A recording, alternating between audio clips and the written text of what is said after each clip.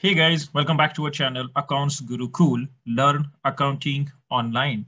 So today we are here with one more video and this video we are going to create based on the request of one of our audience.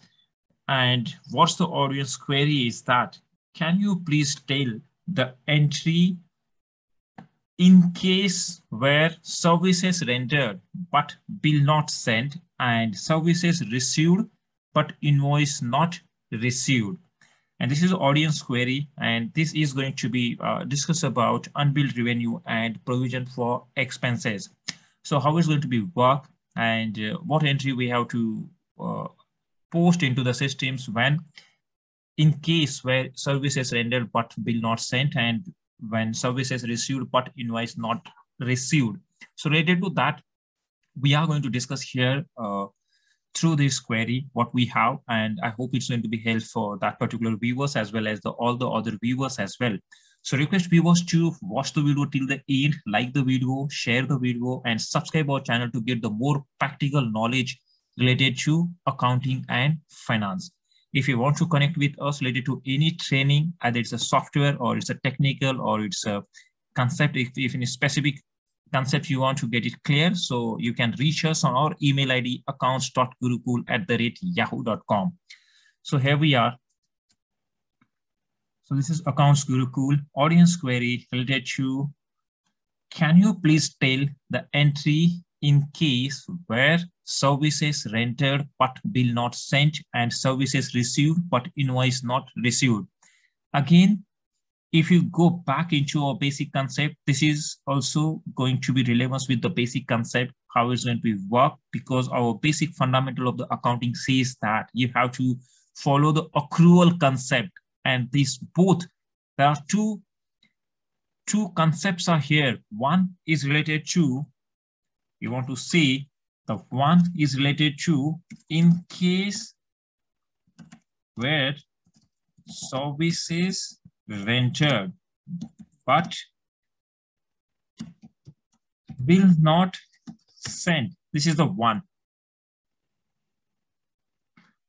So this is the first case where invoice, in case where services rendered, but bill not sent. We are service provider. We have delivered the services, but we haven't raised the invoice. We haven't sent the bill to our customer.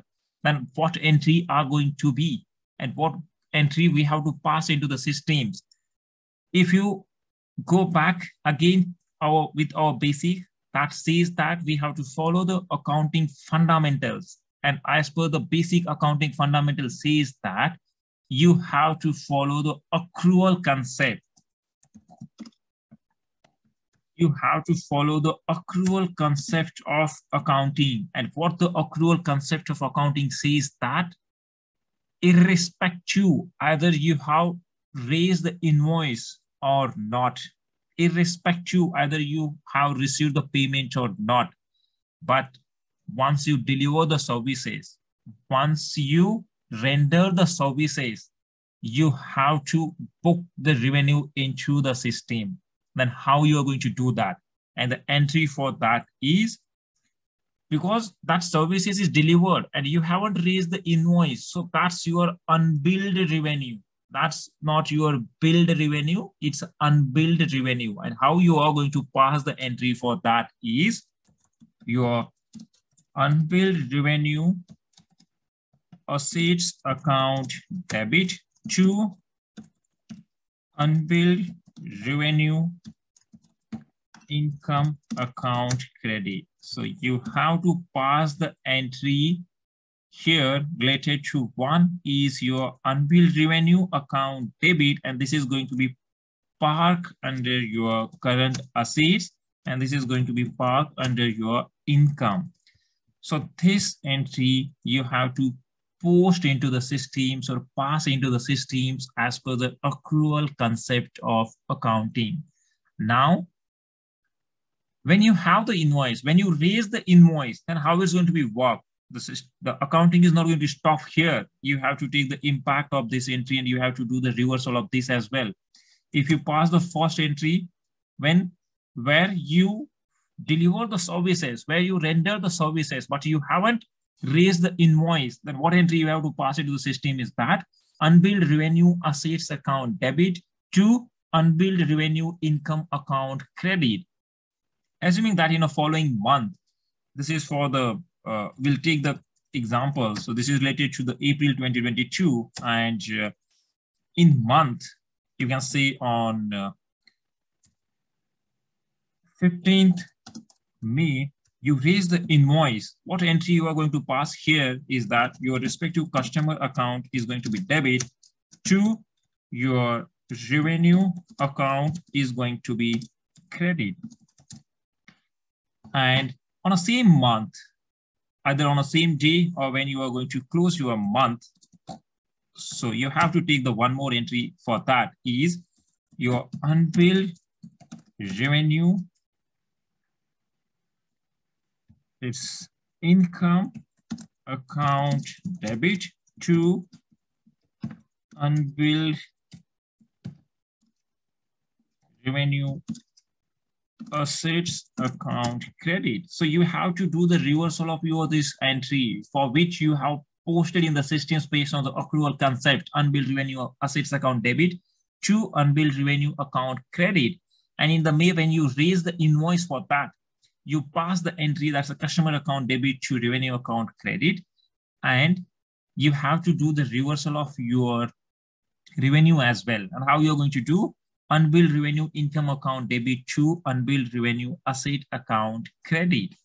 So this, the, this is the entry or these are all the three entries you have to ensure when you have the services rendered but bill not sent.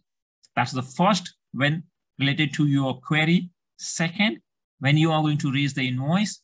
Third, once you raise, you have to do the reversal of your entry. So this is related to your first query related to in case where services rendered but will not send.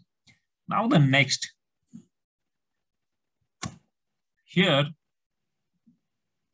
in case where services received but invoice not received. And this is related to the vendor or the service provider. This is going to be vice versa of our the first case where we are the service provider. Here, we are the service receiver. So we are availing the service from our service provider. He delivered the services. He rendered the services to us. We avail the services from him, but he haven't raised the invoice on us. But again, that's going to be related to our accrual concept says that if we have received, if you have availed the services, then we have to book that into the systems. And how you're going to do that on the same month for April, you have to debit to your respective expenses, assuming that you have the uh, training and consultancy services from our aim. That's from the accounts Gurukul. That's you are going to do training training charges or training fees account is going to be debit to provision for expenses. Here, if you know the exact amount of provisions and if you have the contract between the accounts Gurukul and you, then you have to credit to your, instead of provision expenses, you have the option to credit to expense accrued expenses account as well. And if you don't know the exact amount for that, you have the scope to credit to provision for expenses. Accrued expenses are going to be applicable most of the into the uh, listed entities. They need to bifurcate between these accrued expenses and provision for expenses. But related to the other MNCs where they uh, do all the transactions as kind of provisions, they park to provision for expenses, but from the interview standpoint and from the understanding standpoint, uh, here we have to keep in mind that's a two are different concept. We have created videos for that as well, how it's going to be difference between the provision for expenses and accrued expenses. But here we are giving the both the option to credit. It's depend upon the what your entity is following. So this is the first entry. Now when you receive the actual invoice, what entry you are going to do? Again, you are going to debit to your training account, but you are going to credit to your service provider. That's the vendor account credit. And now, since here in the month of April 2022, you already accounted training charges. Again, you are debiting in the month of May as a training charges. So here is going to be considered as a duplicate expenses. We are debiting twice in a same financial year for the same expenses. So you have to do the reversal of this entry. And how you're going to do that? It's a provision for expenses account is going to be debit to your training charges or training fees account is going to be credit. That's the entry you have to pass into the systems. And uh, this is related to the two concepts. What our, uh, our audience ask in a query, in a comment says that, can you please tell the entry in case where services rendered, but bill not sent? And the second, in case where services received, but invoice not received. And uh, this is the clarification for our audience query. And uh, thanks guys for watching the video till the end. And as we mentioned, if you also have any query, if you also need any clarification from our end, then you can put it into the comment. We'll try to create a video on that. So that's going to be helpful for all of our viewers. And whatever you have in your mind related to accounting and finance, you are free to put it into the comment. Or if you want to go for any training or if you want to connect with us for any software training, or if you have any uh, query related to any specific concept of accounting and finance, and if you need to get the more clarity on that, so you can reach us on our email ID, that's accounts.gurukul at the rate yahoo.com. Thank you.